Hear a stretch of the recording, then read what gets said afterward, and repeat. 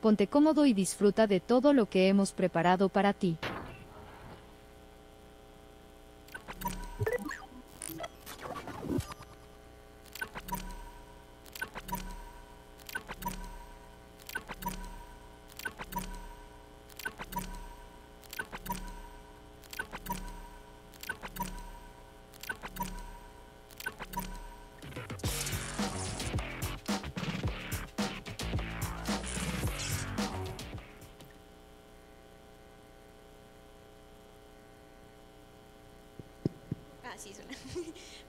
Tardes para todos. Les damos las bienvenidas a todos los asistentes a Colombia 4.0, a quienes están aquí. Good afternoon for the, all, all the people who are here in this streaming transmission through the page www.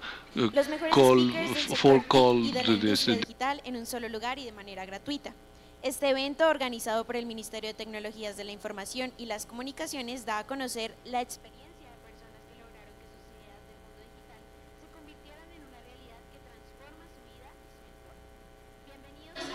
So welcome to the time of artificial intelligence. Next, we'll actually present authenticity, uh, artistic authenticity in the digital era. Our guests are Jorge Fara, a uh, audiovisual podcaster, writer, and editor in Buenos Aires, Argentina.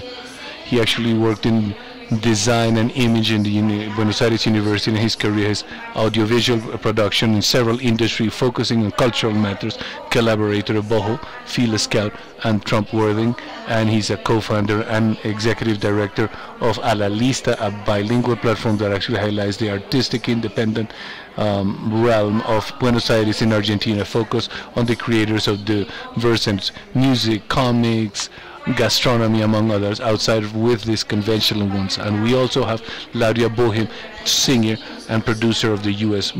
by the main verse, and our secret Manche that has created videos for artists like Blink 182, Jack White, Flutie Richard, Ash, Ash SG, Elwise, and more and their, her single voice and her influence in the musical industry highlights her and she's acted there in programs of the Colbert Report and supports causes like Omar Hammer Gates Rock and voice for the social justice through art. We'll leave you with them. Thank you very much.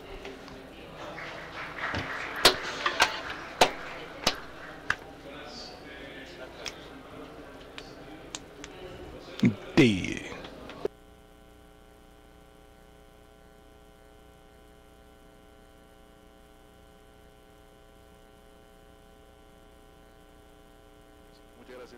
Right, thank you very much. Hi, hi everyone. I mean, we're very, thank you very much for the introduction.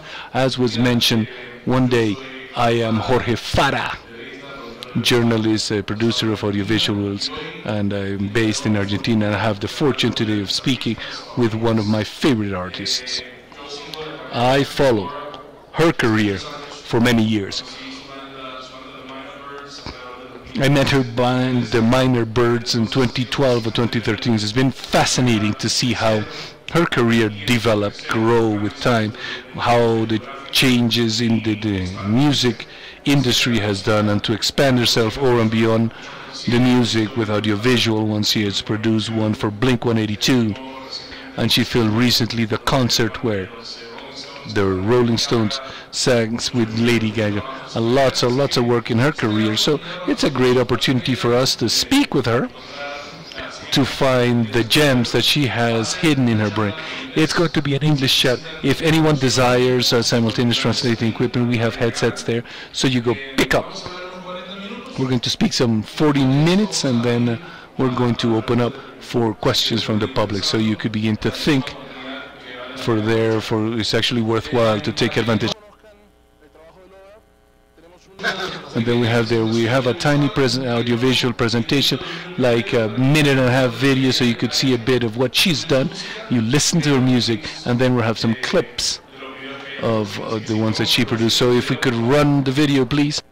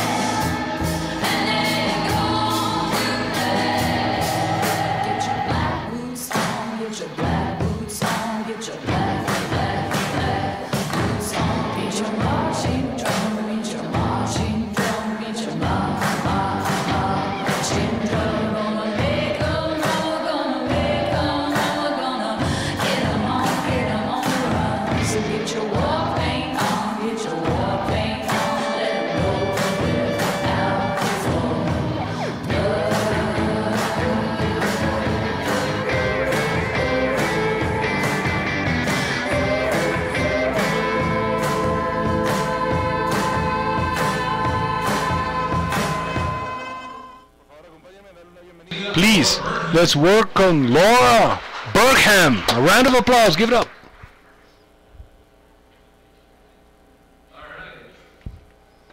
Pues, we're going to.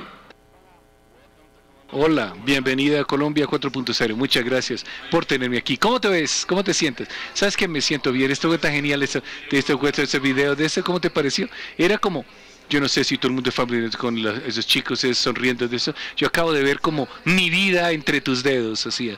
Ah, estos son de mi banda Minor Birds. Y eso hay una serie de discos que ya había grabado. Y realmente fue muy genial ver como Travis Barker tocando los tambores para mí, pero bueno, esos son los videos de esos viejos que están. Muy, muy chévere, gracias. Para nosotros fue difícil hacer una compilación que con exactitud resumiera tu carrera, porque tú has tenido una carrera extensa y de muchos aspectos. Y yo quiero hablar acerca de lo que qué es ser auténtico en la era digital y cómo quedarse con su autenticidad artística cuando toda fuerza del mercado le dice a uno que no haga eso, que genera tendencias. Y primero, quiero tener un sentido de quién eres, de dónde eres, de dónde vienes. Cuéntame de cómo eres, cuál es tu reseña, historia. ¿Cómo empezó con los minor birds, los pequeños abres? Voy a tratar de ser muy breve, es difícil de hacer. Empecé a tocar música cuando era niña. Siempre cantaba, mi mamá siempre dice que yo cantaba antes de aprender a hablar. Eh, toqué el piano a los de cinco, cantaba en el coro de la iglesia y cuando tenía 14 años me eh, presentaron a Torres y perdí mi mente. dice, aquí está esta artista que toca el piano y viene de una reseña histórica similar a la mía. Así que seriamente empecé a componer canciones a los 14, 15 años. Empecé mi, mi marca de disquera Laboratory Records. A los 19 saqué mi primer disco cuando uno podía sacar un CD sola y lo hizo, hice dos, dos mm, discos CD sola en Washington DC y estuve como en la escena de la gente punk. Y entonces no necesariamente era del punk de Washington DC, sino era la gente que era ayudando a mis amigos a hacer punk que fue como interesante, ¿no? Y luego empecé a trabajar con Sarah Creek Records, no sé si conoces esa disquera, es uno de Omaha, en Nebraska, es pequeña, y había un artista ahí que se llamaba Bright Eyes o Ojos Brillantes, y también hice tour con ellos más tarde, pero tuve una banda en DC que se llama Georgie James y sacamos un disco con Saddle Creek y esa banda se descompuso, se desmembró y yo sí seguí componiendo canciones y el primer disco de Minor Brothers y aquí llegué y hoy estoy en Bogotá. Bueno, entonces básicamente eso es un proyecto tras otro, es lo que eres tú, ¿sí? Sí. Los primeros discos saqué eso bajo mi nombre Barbara Burham y cuando quise sacar los otros discos que eran solo, yo quería diferenciarlo entre los primeros discos y esto porque el sonido era muy distinto. También quería esconderme detrás del nombre de una banda. Yo creo que es como confortable. Una cosa de decir, yo realmente no me gusta Barbara Burnham, y otra cosa es solamente decir que a mí no me gustan los binary Hay como una capa de protección de eso. También hay un giro, ¿no? De eso, porque fue una cosa consciente donde traté de ensayar algo totalmente diferente. No, yo creo que es algo, un crecimiento natural, yo creo realmente, lo que sale de una carrera artística. Y uno está influenciado constantemente con nueva música, nueva gente, cosas que uno realmente investiga o algo con lo que uno se enamora, se se encariña, gente, o algo que se llama culturas frías, por decir eso, o de culturas de culto, puede ser de ese. Yo creo que es como que era parte del crecimiento y es, es curioso porque todos mis registros Minor Birds suenen realmente enormemente diferentes el uno del otro, así que no estaba cambiando de nombre con cada álbum. ¿Qué dirías tú que es una de las grandes diferencias que ves entre la música, la industria de la música entre lo que tú comenzaste y lo que ves ahorita. Yo estoy seguro que el mundo te ha cambiado mucho. Sí, cambió de Yo creo que mi carrera ha sido, como dije, cuando tenía, era adolescente, cuando empezó a salir los, el CD, entonces yo empecé a comprar CDs y dice, ah, CD, esto es lo, lo nuevo, lo que vamos a consumir en un CD. Y así que cuando yo empecé a sacar discos, yo ya podía producir mis propios CD a un costo razonable que era genial y lo podía grabar yo misma y quemar mis CDs y venderlos en masiva con una computadora y tener, ¿cómo se llama? Una banda de garaje, ¿sí? y entonces la gente tiene realmente más acceso para crear su propia música y para poder venderla y sacarla. Y en la época era como es música de MySpace. Y entonces ahí se sabía y la gente se la conocía y la veía. Así que cuando nosotros vimos a los primeros Minor Bird Records cuando salió en el 2010, eso era lo que estaba pasando, eran CDs.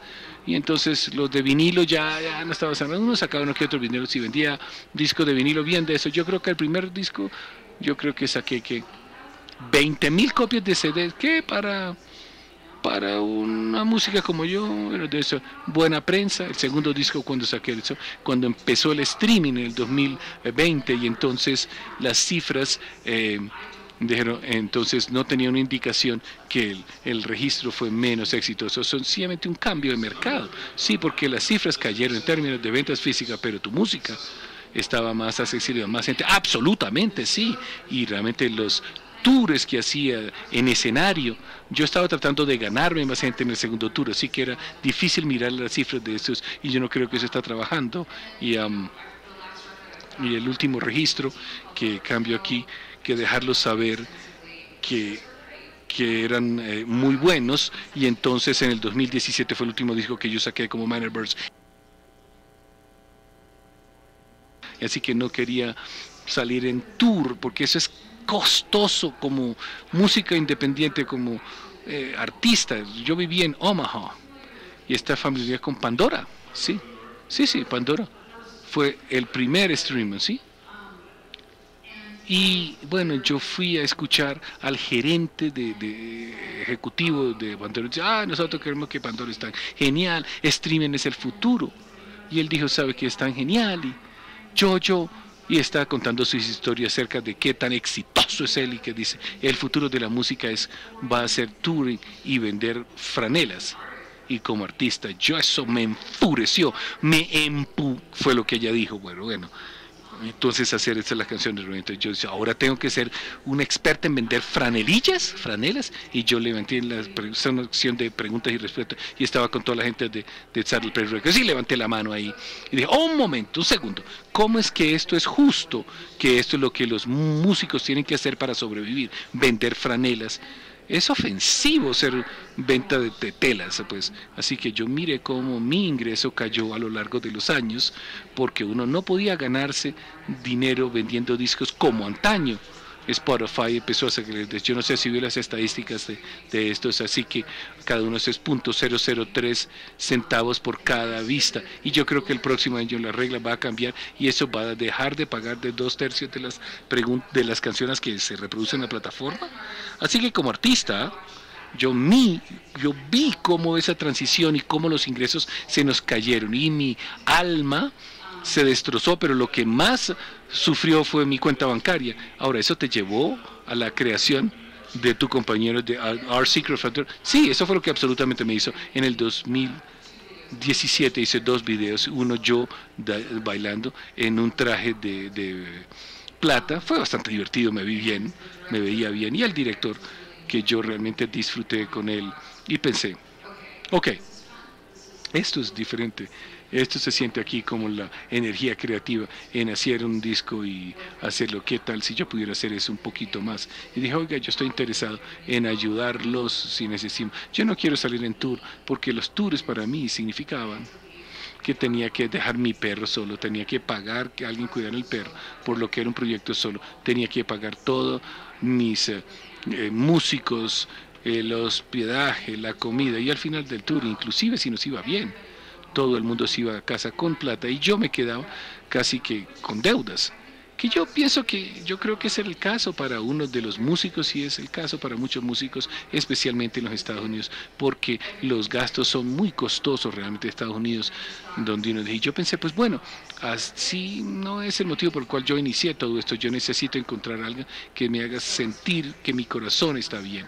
Entonces yo fui con Master, con el video Jack White y... Um, y fue realmente divertido para mí porque yo estoy sintiendo que todavía trabajo con disqueras, con artistas, haciendo videos, siempre es divertido porque uno está haciendo una representación visual, creando el universo de las canciones y de los álbumes para darle la bienvenida a la gente para que ingresen. Y para mí es una experiencia divertida y como artista que soy, yo siento que realmente tengo la oportunidad de tener el artista con el que estoy trabajando, porque sé que es importante es tenerlo entre mis brazos. ¿Encuentras por casualidad que llena el mismo impulso creativo que te llevó a ti a ser compositora o este es otro tipo de motor? No, es otro tipo de motor de satisfacción, de remuneración. ¿Extrañas lo de músicos? Sí, sí. Entonces, ¿qué? ¿Deberías hacer esa música? Yo entonces esperar hacer eh, mi, mi disco de retorno cuando cumpla los 50 y realmente aprecio a mis amigos, Den and Just, que estaban hablando acerca de cómo somos desesperados de esperanzadas de que el futuro de la música que se colapsa por edades, así que uno dice uno pasa la edad hasta que uno ya no es demasiado viejo para ser artista, pero nosotros tenemos la idea de que uno sí puede continuar creciendo, evolucionando, contribuyendo a la conversación de nuestro mundo. Bueno, entonces, cuéntame, en términos de la capacidad para expresarte de manera artística y dejar, olvidándote un segundo acerca de todas esas inquietudes, importantes acerca del dinero y sostenibilidad, dirías tú que el incremento de la existencia, prevalencia de estas herramientas como Rodaban o herramientas de inteligencia artificial o todas las cosas que hacen que sea más fácil para que más personas hagan más artes, ¿tú crees que es un positivo neto o un, un negativo? Yo no creo que hay nada malo que la gente se exprese. Y tener herramientas que faciliten su expresarse. Pero sí resultó en una homogeneidad de sonido y de visión, porque uno puede entrar en un programa y decir, ah, toque este ritmo. Y entonces ahorita cuál es el Little Boothing, ¿sabes esa canción Little Boothing? No, no. Little Boothing, I don't know what you do No sabes esa canción, no, no sé esa canción. En TikTok está por doquier en los Estados Unidos pero la canción es en realidad es exactamente la misma. Es, usted tiene The Best of My Love de los 70, hace que es un hit número uno que literalmente está escrita encima de una canción que fue número uno en 1970. Eso está pasando a muchos de interpelaciones de esto, de copias creativas eh, sobre lo que ya pasó y está tomando una canción vieja y escribiendo encima de eso. Y dice, sí, yo pago de eso, yo le pago al, publicador para poder utilizar eso. ¿Tiene sentido? Sí, como tú dijiste, eso crea este ambiente donde todo el mundo en esencia está haciendo lo mismo si todos están utilizando las mismas herramientas. Entonces, ¿cómo opera uno como artista que quiere tener éxito dentro de ese escenario? Donde uno siente que todavía retiene su autenticidad, mientras uno todavía siente que uno retiene su alma, lo que hace que uno sea un ser singular.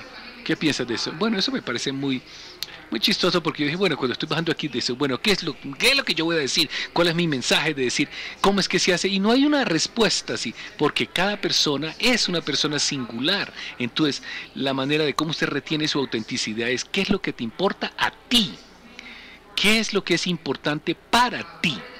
¿Cuáles son las cosas que tú adoras, que te inspiran, que, te hacen decir, a, inspirarte para ser un músico, un artista? ¿Quiénes son los que te influencian? ¿Cómo es que tú quieres eventualmente apoyarte en las cosas que ellos hicieron para crearte y incorporar en tu música? Yo realmente soy fanática de Bowie, de Lina Samón, de unos artistas que son muy distintos y me encanta de hacer como pequeñas notas, como de o para honrarlos, incluyendo lo de ellos en mi música. Y entonces para mí, yo parcialmente digo, yo nunca tuve un éxito comercial gigantesco, entonces por eso fue por lo que dije que nunca iba a estar más adelante la tendencia. Así que en algún punto uno quiere estar siempre estar a la cresta de la ola de las tendencias o detrás, después dejar que pase la ola. Y entonces, o uno puede decir un segundo, ¿quién soy yo? Y cuando uno dice eso, uno se siente relajado en su entereza. ¿Qué, qué, qué es lo que se supone que yo debo hacer con mi única vida? La que tengo, ¿qué puedo decir? ¿Qué puedo contribuir?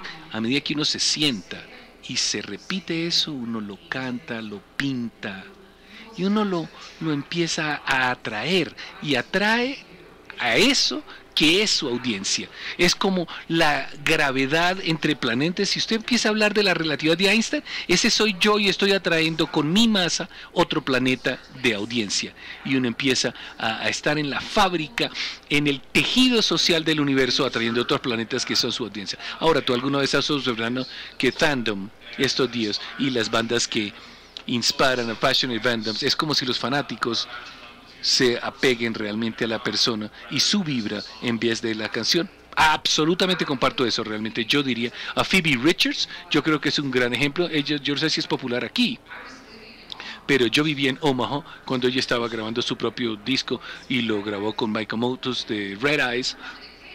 Y me acuerdo que la tocaron para mí y yo le dije, wow, yo eso es buena música. Yo dije música folky y al verla ella, cómo crecía solamente haciendo lo que es natural para ella, no era necesariamente popular. Era como suave, introspectiva ella, historia casi que narrativas en su canto. Y le ha servido en una enormidad. Ahora, dime, ¿tú crees, pensando en esas líneas, en, esa tendencia, tú crees que para los músicos deberían ser más que sean músicos, sino ser realmente eh, ingresar a otras formas de arte, hacer videos, escribir ensayos en Instagram? ¿Tú crees que es importante para nosotros ver que ser más que solo un músico? Si quieren tener seguidores, detesto esa pregunta, ¿sabes? La detesto, sí. Pues me disculpo. Bueno, porque por una parte, no, no lo creo. Yo creo que definitivamente es, hay unos músicos que solo hacen música. Y dice, yo no voy a hacer redes sociales, yo lo que soy es músico, para mí no es cómodo. Yo lo que soy es músico, música. Y esos artistas van a encontrar disqueras y gerentes de medios de redes sociales que va a ayudar a relatar su historia de manera auténtica, ¿sí? Así que yo, por mí, a mí me encanta escribir ensayos en, internet, porque yo soy escritora y me encanta hacer eso. Yo no voy, ni siquiera voy a decir que soy buena en medios sociales. Así pues que eso es como un conundrum interesante, un dilema o un contraste de uno de todo. Así que parte de lo mío es admitir que no me gustan las redes sociales y no voy a hacer que sea parte de mi médula. Así que yo sí creo que hay maneras fantásticas de utilizar los medios, las redes sociales como herramienta. Por ejemplo, antes yo estaba haciendo mi primer registro Michael's Record en 2010. Richard Swift era el productor y es uno de mis artistas favoritos que yo siempre si uno busca álbumes, él es que tiene realmente esa voz de Harry Milson, esa vibra de Él es eh, ya ha pasado de eso y es uno de mis artistas fabulosos de toda la época, lamento que haya muerto. Y para la época le está diciendo, ¿cuál es esto? ¿Eso qué es mercadeo? ¿Qué se supone yo sacar eso? ¿Ve venderme yo? Entonces, uno de los artistas visuales increíbles, lo mejor que he visto. Pintor, poeta, y hacía todos estos como pequeños cortometrajes que eran excelentes. Y yo le dije, oye, mira Richard, los medios sociales son una herramienta, así que tú sencillamente puedes poner tus pinturas en, los medios, en las redes sociales y eso fue lo que él hizo en su cuenta de Instagram y hizo estas películas experimentales que solamente funcionaban en, su cuenta de Instagram. Pero era como esta manera hermosa de saberlo, conocerlo como artista, que no era a través de su música, era como otra perspectiva para entender cómo funcionaba su mente. Y yo pensé que eso era realmente genial y yo apreciaba esos artistas que utilizaban medios sociales o, medios digitales para expresarse cuando de otra manera no se puede hacer eso. Bueno, como yo mencioné a empezaste en un periodo que era como de transición para la música, ¿sí? Las cosas estaban cambiando y las cosas todavía siguen cambiando, sin duda, pero en esa época era como otro ámbito totalmente y todo cambiaba por ámbitos. Durante tu participación de los Minor Birds, ¿sentiste que eso era presiones para conformarte a ciertos sonidos, limitarte en ellos, hacer canciones que tenían un largo predeterminado o llegar ahí como una fórmula? ¿Tú personalmente te experimentaste esos límites? Yo creo que para mí, a mí me emocionó de, de los rompecabezas, así que yo si yo pienso acerca de no de reaccionar a una tendencia, sino que es interesante acerca de lo que estamos hablando en el, la conciencia colectiva, y eso es lo que yo hacía, y eso es lo que son las tendencias realmente, ¿cierto? Y entonces yo digo, bueno, eso realmente me emociona o no, pero es emocionante para mí. Siempre que quería empezar una canción con un coro, es mucho más difícil de lo que ustedes se imaginen empezar con el coro. Suena como semántica una de las cosas donde uno dice, déjeme ver si soy capaz. Pero no, no, no, no sé que nadie se vea obligado a hacer algo de eso. Respondí tu pregunta, sí, sí, seguro. Y sí, realmente estaba curioso, realmente, porque esto reflejaba esto, o inclusive experimentado por los artistas más jóvenes con los que has trabajado. Cuando los otros que les produjiste discos a ellos, ¿tú crees que la gente los empuja a un lado o esto es una fuente de estrés? ¿Cómo uno maneja todo esto? Yo no fui testigo de un amigo. Mi carrera, sí, empezó en en los Birds que empezaron en el 2010 y hice tours hasta el 2019. Así que básicamente 9, 10 años pues. Y al final de mi carrera, uno de mis amigos sacó su música y era como muy suave, como susurrada, como muy melódica, como muy angelical. Y Spotify la escogió ella como son los artistas que ellos querían impulsar. Y entonces se la lanzaban por los algoritmos en las listas de, de, de toque. decir, yo no sé si había algún tipo de negocio de, de disquera privada y sacó su música. Y su primer disco fue gigantesco. Estaba recibiendo exposición y vista por esto. Y cuando sacó el segundo disco, que sonaba como el primero, no tuvo respaldo no tenía el soporte de los algoritmos y todas las cosas que ella estaba haciendo en medios sociales no funcionaron. Y el motivo fue porque ella no. Creo que ella estaba tan interesada en las cifras que no estaba conectando con la gente. Y eso no fue culpa de ella. Ella sencillamente como que no había conectado con la gente de una manera donde la gente quisiera quedarse para ver qué era lo que tenía de eso. Y eso me rompió el corazón totalmente yo creo que me sentí muy afortunado de trabajar con una disquera que no me impulsaba así con todo para que el segundo fuera un fiasco que fue realmente muy bueno yo contar con ese apoyo y es bueno que nosotros vivamos en un enero, que uno ya no dice el respaldo de una disquera, uno solamente lo hace y ya está. Y entonces uno sencillamente publica sus propios discos, sus propias canciones. Usted puede escribir una canción y le saca dentro de cinco años la otra, eso es lo maravilloso de esta época. Cierto, y parece que estábamos hablando de autenticidad. Parece que hay un aumento en la apreciación de la realidad de las cosas hechas a manos, cosas que parecen verdaderas, que salen del corazón. En esta edad en la cual puedes sacar una herramienta de AI, ponerle un prompt y decirle, sácame un sonido que suene como Michael Jackson en el 83 y lo obtendrás. Entonces, ¿cuál es tu opinión sobre la inteligencia artificial y su papel en los próximos 10 años de la música. Esto es algo fascinante, me fascina la inteligencia artificial. Yo soy como un...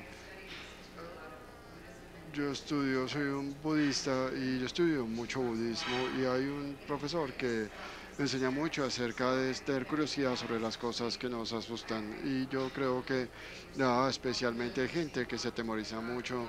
He visto en Hollywood mucha gente que dice que la ahí va a venir a quitarnos nuestro trabajo va a quitar nuestra creatividad porque tenemos diversidad. Pero creo que es interesante como una herramienta.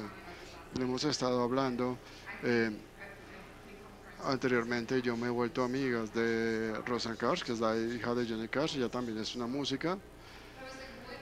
Y decía, ¿qué tal si ella quisiera escribir una canción y quisiera que su padre lo hiciera con ella? Entonces tal vez es como un homenaje a esa relación entre padre e hija y debido a la inteligencia artificial lo pueden hacer ahora y pueden recrear su voz con su voz. Y para hacerlo, eso me, sería algo muy especial. Nosotros hicimos un video recientemente para un artista de country llamado Mel Morris y todo era pantalla verde, la redujimos a unas mini, mini escenas, a unos conjuntos de 50-50 para construir este fondo inmenso. Hicimos que un artista eh, lo insertara, literalmente se hizo a mano, un artista insertó eso, pero para extenderlo, el alimentó el video a una, un programa de inteligencia artificial y él lo extendió y creó este hermoso fondo. y él me dijo, eso me hubiera tomado cinco días hacerlo el año pasado y ahora me toma cinco minutos. Entonces algo así es donde estamos en capacidad de extender, aumentar voces actuales, auténticas, piezas hechas a mano. Creo que eso es muy emocionante y para mí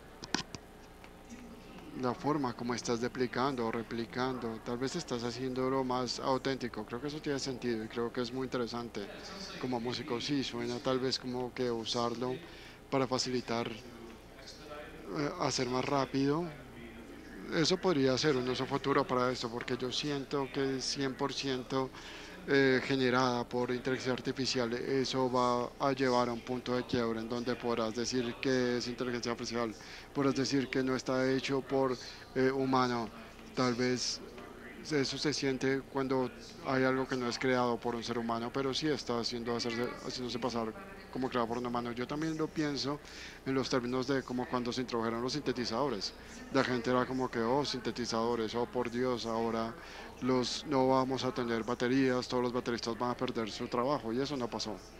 Hoy en día tenemos espacio para la gente que lo, que lo toca, como mucha eh, música latinoamericana y sudamericana. Y también hay gente que es experta, que es en estos instrumentos digitales y creo que es lo que vamos a ver.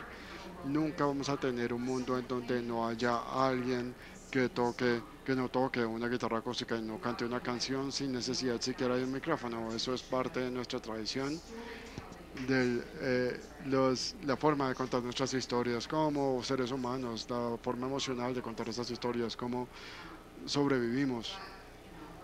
Pero también vamos a tener hasta gente, no sé si ustedes siguen este pequeño niño que se llama Miles en Instagram, a ti te gusta Miles, ¿cierto? Tiene como 6 o 7 años es un productor increíble y tú lo ves hoy en día. Eh, el otro día hizo algo para Colgate que donde estaba recordando sonidos como de eh, cepillarse los dientes y él hizo solo un sonido de, cepillar, de cepillarse los dientes con dos dientes, cepillos de dientes y él los estaba cortando. No sé si él estaba utilizando alguna herramienta de inteligencia artificial, pero era muy chévere. Yo no estaría nunca en capacidad de hacer eso porque él es un niño que ha crecido con esto se le es muy fácil. Parece que tú eres muy optimista con respecto a la inteligencia artificial en la, arte y la creación. Estamos eh, experimentando una transición, es duro. Eh, puede, puede, que pasen cosas malas eh, con, con, eso. El algoritmo lo odio. Yo creo que el algoritmo es mucho más peligroso que la inteligencia artificial. Creo que el algoritmo, especialmente ahora, nos va a dividir. Creo que es muy insano es muy tóxico. Es como si fuéramos a sentarnos en la cena y lo primero que ordenáramos fuera como que, voy a tener espagueti y entonces el mozo nos sigue trayendo espagueti y así, así, y nunca estaríamos en capacidad de probar una ensalada o de, probar el postre. Entonces creo que es tóxico. Es como si estuvieras en una dieta, eventualmente te vas a enfermar porque no estás recibiendo lo suficiente de la dieta que te pueda ayudar. Entonces el algoritmo puede ser visto como eh, un obstructor de la creación, un obstructor de tu, de tu desarrollo como artista, de tu crecimiento como artista, sí. Y yo creo que como puedes contar, contrarrestar eso es por medio de la curiosidad. Y yo lo aprecié anteriormente. Eh, esto de hablar de asegurarse que estás usando, estás eh, consumiendo diferente tipo de contenido, estás explorando diferentes tipos de artes. No hay una forma correcta de hacerlo. Creo que está este artista increíble como Botero o como Andy Warhol que escogían una cosa y lo hacían. Y decían como esto es la cosa que yo hago una y otra y otra vez. Yo soy caótica. Entonces en mi carrera artística cada álbum suena diferente. Y después digo, no, un minuto, como un artista voy a cambiar un medio diferente ahora y hacer videos o hablar con o trabajar con otros artistas que se parte del trabajo en sí mismo. Y hablando un poco de mí mismo ahora, yo he encontrado que en la medida que he crecido, mi curiosidad eh, se ha reducido. Creo que tal vez es más fácil quedarme con lo que sé y no aventurarme más allá de eso. Creo que esto es algo que le pasa a mucha gente, he escuchado a mucha gente en eso. Tú experimentas eso y cómo contrarrestas eso, cómo fomentas su curiosidad, cómo fomentas esa experiencia en línea para mantener una mente abierta. Me encanta ir a través de un eh, hueco de eh, conejo, no lo hago en YouTube, pero es en Instagram, en donde veo algo y tal vez después veo algo que le gusta a esa persona y tal vez de ahí estoy entrando en un universo completamente diferente musicalmente. Estábamos hablando de esto. Es como Spotify.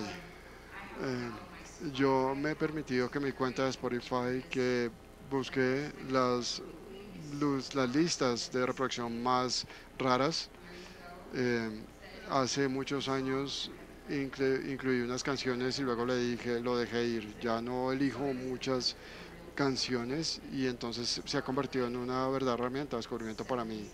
Es como que jazz etíope de los 70s y army de los 70, música oscura japonesa de piano y cada vez se vuelve más raro en la medida en que más me adentro. Eso es excelente, eso tiene todo sentido, es la manera de mantenerse abierta y curiosa. Y así utilizo esa herramienta como una herramienta para curiosidad. A mí me encantan los honks y me encanta la gente que se mete al sistema para utilizar el sistema para romperlo. Eh, para mí es lo más interesante que puedes hacer. Entonces, tal vez eso fomenta eh, mi habilidad de hacer mi propia vida, pero creo que eso es lo que también nos retiene hablemos un poco sobre los artistas y sus eh, redes sociales. ¿Tú crees que hay un problema actualmente con la gente que trata de complacer a todo el mundo y no hablan auténticamente en línea sobre ciertos problemas que pueden ser eh, controversiales? Ese es un problema que tú has visto, que la gente enfrenta definitivamente, yo lo he visto, lo he visto suceder. Eh, estamos viendo en una era en la que hay mucho mucho despertar social, por ponerlo de alguna manera. Hay muchos problemas que están siendo puestos sobre la mesa. En los Estados Unidos, por ejemplo, Black Lives Matter, ustedes saben, fue como una cosa grande que sucedió. Fue como una erupción en el tejido de la conciencia colectiva norteamericana. Y algunos artistas fueron muy rápidos como en decir absolutamente voy a liderar esto y yo fui uno de esos artistas eh, que salía a protestar, que, que mostró su signo de Black Lives Matter. hay gente que tal vez no se siente tan cómoda con eso. No creo que sea responsabilidad del artista, no es responsabilidad de cada artista pararse y tener una posición con respecto a los temas sociales, porque eso no es auténtico para todo el mundo. Para mí, eso es auténtico, eso es como parte de quien soy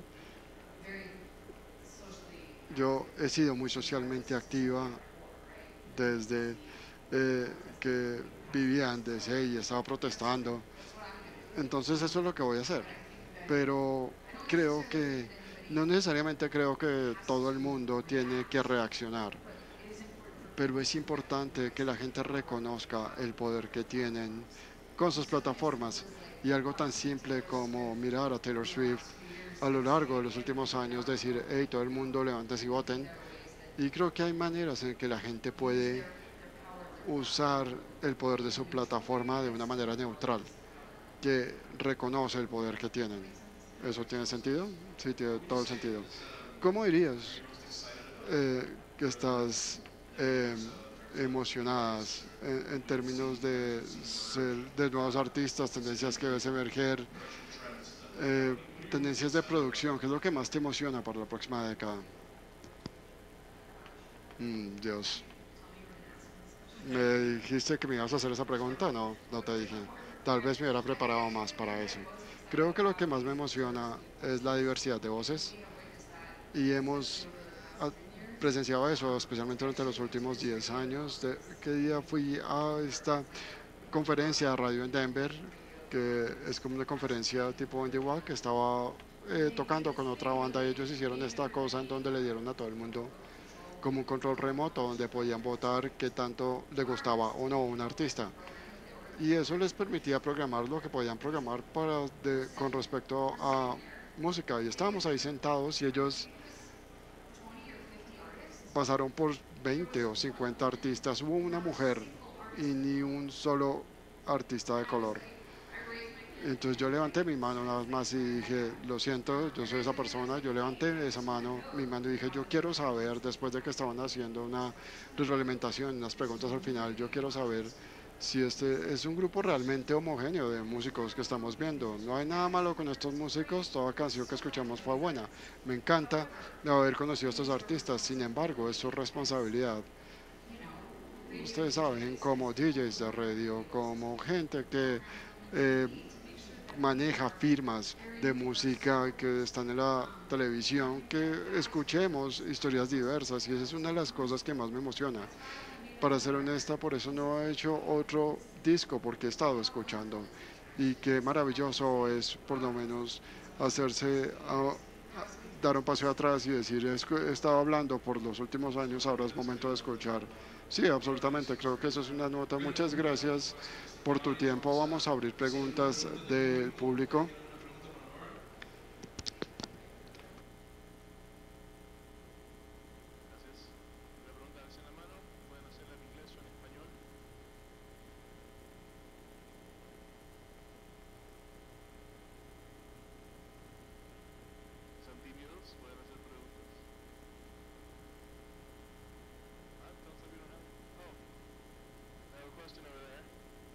Tenemos una pregunta.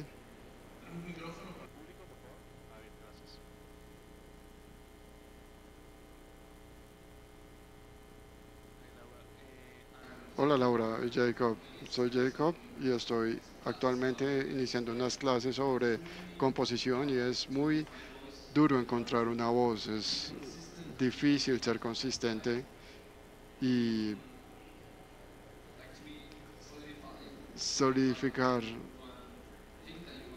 una cosa que quieras comunicar.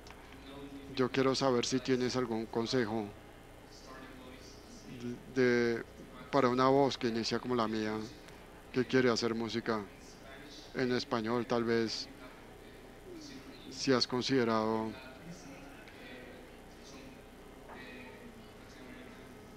algunas voces latinoamericanas y si puedes darme algún consejo sobre el tema. Yo diría solo para que inicies, empieces a escribir, no tienes que elegir un sonido. Yo creo que cada canción que escribes será una expresión diferente de tu personalidad y una vez más, un artista como David Bowie, él era como mi icono porque él cambiaba de álbum a álbum eh, canción a canción cada todo sonaba tan diferente y eso era como parte de la alegría de él como un artista. Creo que nosotros nos lo hacemos más difícil el sentir que tenemos que ser una cosa, especialmente en un ambiente tan sonoro. Hay mucha gente haciendo música, hay mucha gente haciendo arte. ¿Cómo te destacas? Y creo que en lugar de perder tu tiempo y tu energía no quiero decir perder, gastar tu tiempo y energía en tratar de encontrar esa cosa. Simplemente inicia, simplemente empieza. Y lo primero que digas, lo que sientas en tu corazón, cada vez que yo estoy escribiendo y empiezo a llorar un poco, digo, eso es, eso es real para mí. Y yo no, ni no me importa si es real para alguien más, por lo menos es real para mí y es algo que está saliendo de mí. Entonces, tienes ese momento con eso y tienes ese momento con ese paso de música, confía en eso, confía. Si te hace sentir algo, sácalo. Y la próxima canción que te va a sentir así, sácala. Aún así suene totalmente diferente. Y solo confía en que estás comunicando algo que es real y que no tiene eh, edad y universal, porque es contar nuestras propias historias, pero esto también es sobre cantar, sobre las historias de otros que no pueden cantar su canción. Y creo que eso es tan importante. Entonces confía en ti mismo para iniciar y me encantaría escuchar lo que piensas.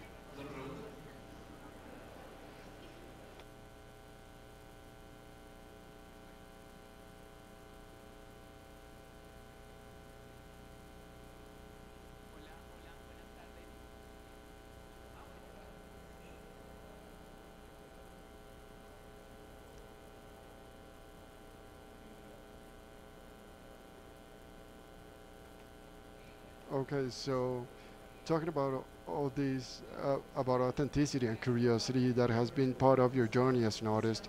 We'd like to know what advices can you give us from your experience uh, for, to those people that not only in the social networks but in artists to find their digitality in all the tools like the metaverse to connect with our audience to expand this way uh, in which we experience the concerts, how we experience artists.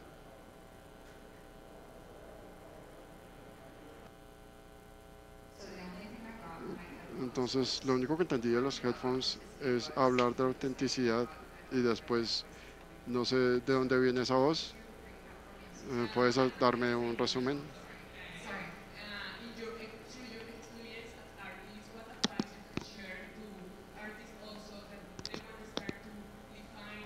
¿Qué experiencia nos puedes dar para definirnos y dar identidad en las herramientas que tenemos como el metaverso, la nueva experiencia para realmente conectarte con tu audiencia? Bueno, sí hay muchas herramientas interesantes. Una de las cosas que me gusta es Pinterest. Me gusta cuando alguien hace un board porque puedes sacar cosas de diferentes artistas que ya te encantan y que te inspiran. Y creo que eso va a ser muy útil. Eh, por ejemplo, si eh, amo Janet Jackson, entonces, ¿qué es lo que amo de ella? Si amo... eh, tengo la mente en blanco en estos momentos con nombres, Neil Young, Prince, eh, los Beatles, eh, no sé, eh, puede ser una respuesta tonta, pero una de las cosas que me encantan sobre estos artistas, que son las cosas que me encantan sobre estos artistas y pensando cómo puedo sacar música, cómo enfocan ellos en sacar música en esta era digital. Es como un acertijo, pero a mí me emociona porque es como un acertijo que hay que resolver. Yo no tengo la mejor respuesta, salvo que hay algunos artistas, unos músicos que eran muy buenos en TikTok. A ellos les encantaba bailar. Y ellos eran muy naturales y les gustaba hablar la cámara sobre su día y la gente les encanta sobre ellos. Entonces, no tengo una gran respuesta, creo, salvo que tratar diferentes herramientas en plataformas, ver lo que quieren. Creo que es importante cuando están mirando la retroalimentación, tratar de reconocer cómo esa retroalimentación los hace sentir. Entonces, si están recibiendo muchos likes en algo, es porque me sentí bien que a la gente le guste esto y me estoy conectando con ellos en esta cosa rara que me gusta. Pueden hacer una revisión de la película o su favorito, su diseñador favorito, lo que sea. O pueden empezar a pensar, oh, eso me hace sentir ansioso porque tengo, eh, porque me afecta. Entonces, hay un sentimiento en tu cuerpo, pero creo que hay mucho en, nuestros, en nuestro cuerpo que podemos confiar para saber qué es lo mejor de nosotros. ¿Eso ayuda?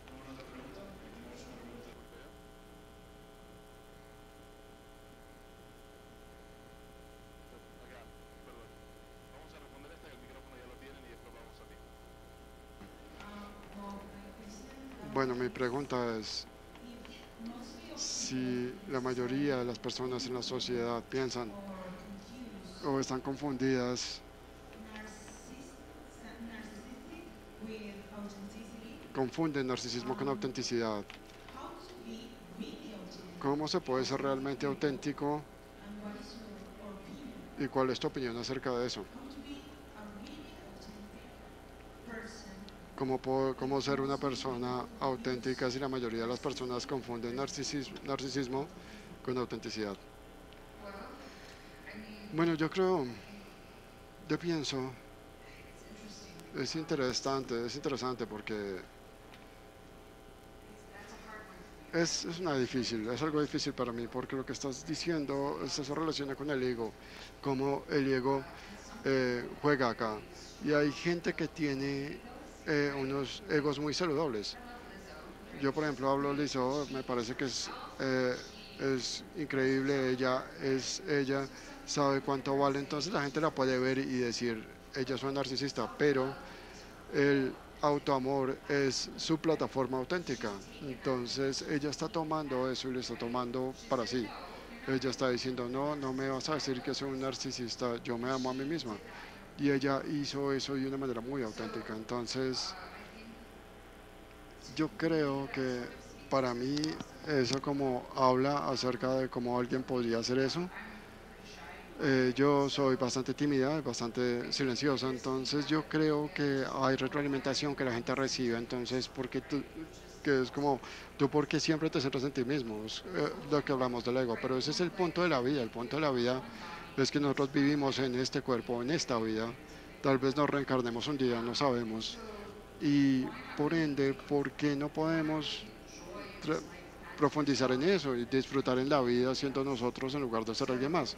Entonces creo que esa es la distinción ahí, que es como permitirte completamente experimentar y disfrutar tu vida y eso es ser auténtico, no es ser una narcisista.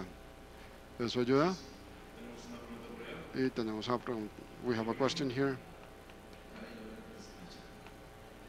Hola.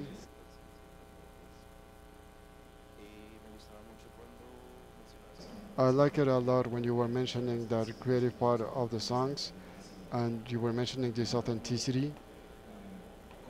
How do you fight? How do you struggle with those mixed feelings? Because sometimes I feel that this authenticity is based on the fact that we're in this artistic process of knowing ourselves.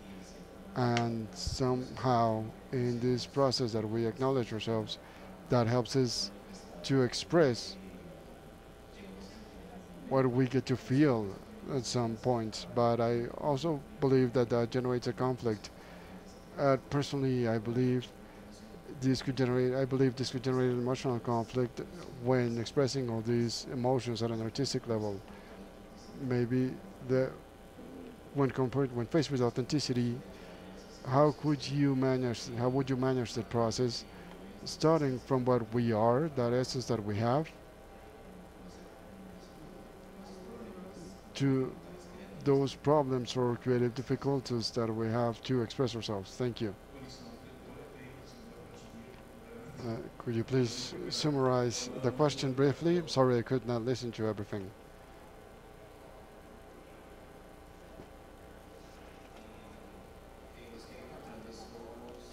So, finding those emotional um, conflicts, how could we use that in our favor to generate like that authenticity when expressing all these creative processes?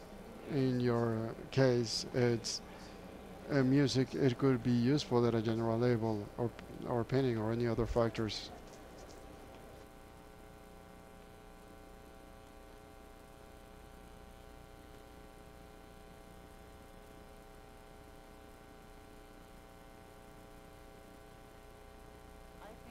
Yo creo que la experiencia de tener eh, sentimientos mezclados acerca de ti mismo es universal. Y por eso, cada momento en que nos sintamos, sintamos incertidumbre acerca de si estamos haciendo algo bueno o no, es importante recordar que ustedes son como 99.9% de todos los demás en el mundo. Yo miro hacia atrás, hacia algunas de las cosas que hice y soy como, uff, ¿por qué hice eso?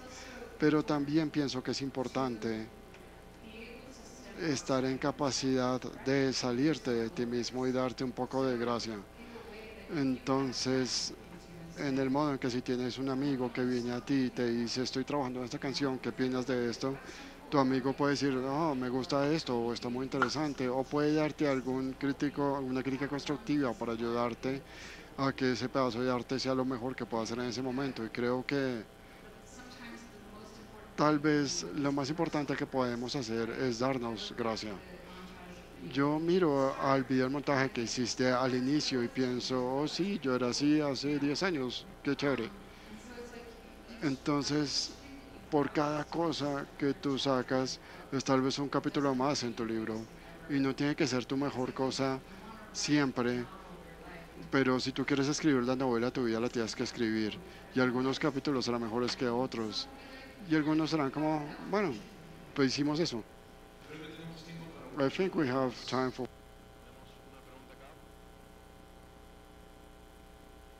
Estamos.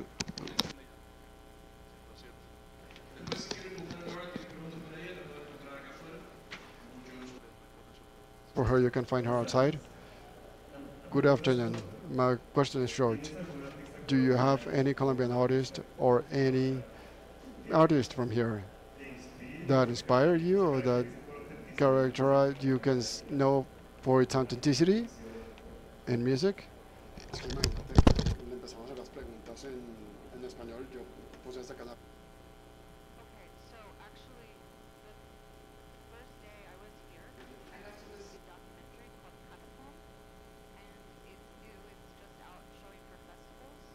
Es nuevo, es solamente uno de Catacum, que es por un productor que hace aquí, hecho en Bogotá, Catacum, y es acerca de música bolarengue. ¿Están familiarizados con bolarengue? Así que yo creo que no puedo responder tu pregunta en términos de una música popular, de eso, sino es como autóctona, escrita por mujeres que han vivido guerras, unas cosas eh, políticas terribles, violencia sexual, y su música es como hermosa. Eh, y hace unas canciones de, sobrevivir y esperanza. Así que no, no sé mucho acerca de la música latinoamérica y realmente me emociona poder tener la oportunidad de mirar eso, pero es mirar esa historia acerca de esta música autóctona, folclórica, para mí eso es emocionante. Y estas eran mujeres que necesariamente no tenían unas audiencias grandiosas, pero relatan unas historias que son realmente importantes y significa mucho. Quizás signifique mucho solamente para mujeres, particularmente en Colombia. Para mí es tan importante que para mí, bueno, eso es como éxito. Cuando uno mira las cifras, a veces uno dice, ah, pues cuánta gente, cuántas vistas tienen esto, cuántas reproducciones tiene y cuántos likes y no sé qué. No, no, no, no, no, no. Es esta historia y esta canción. Eso es éxito. Yo lo que contestaría así. Bueno, con esto, Laura, muchísimas gracias por tu tiempo.